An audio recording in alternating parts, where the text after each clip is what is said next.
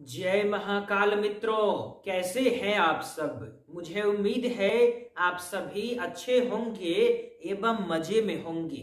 दोस्तों, इस वीडियो में हम लोग बात करने वाले हैं कि भी नाम वाले जातक एवं एस नाम वाले जातक यदि शादी करते हैं तो आपको शादी करनी चाहिए या नहीं करनी चाहिए?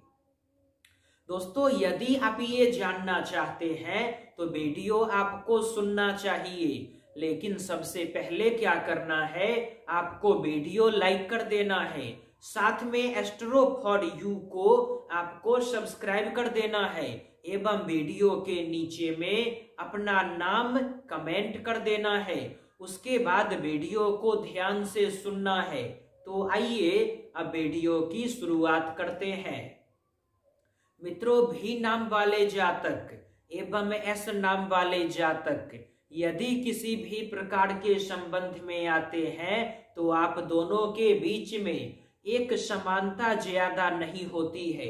इस नाम के जो दोनों जातक होते हैं, वो अपने अपने जीवन में एक दूसरे से अलग, एक दूसरे से भिन्न होते हैं। मित्रों, यदि भी नाम वालों की बात करें तो भी नाम वाले जो भी जातक होते हैं, वो बहुत मेहनती होते हैं, बहुत परिश्रमी होते हैं, एवं हमेशा अपने जीवन में, अपने आने वाले समय के प्रति बेहद आशावादी होते हैं। अपने आने वाले समय से बहुत ज़्यादा उम्मीद, बहुत ज़्यादा आशा करते हैं। इसके अलावा इस नाम के जो जातक होते हैं, वो बेहद शांत होते हैं, बेहद गंभीर होते हैं, एवं कभी भी अपने जीवन में किसी भी काम को करने में जल्दीबाजी करना पसंद नहीं करते हैं। लेकिन दोस्तों, यदि एस नाम वालों की बात करें तो एस नाम वाले जो भी जातक होते हैं, वो किसी भी काम को करने में ज़्यादा समय नहीं लेते हैं।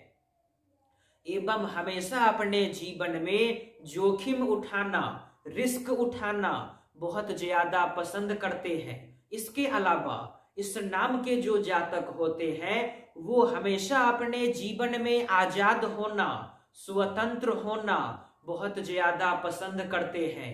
कभी भी अपने जीवन में किसी भी इंसान के अंदर में रहना ज़्यादा पसंद नहीं करते हैं।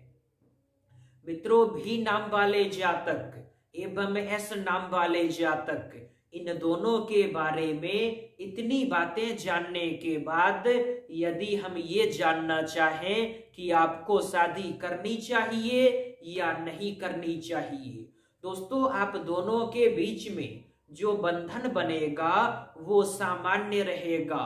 न ज़्यादा मज़बूत, न ज़्यादा खराब। दोस्तों, मुझे उम्मीद है अब तक आपने वीडियो लाइक कर दिया होगा।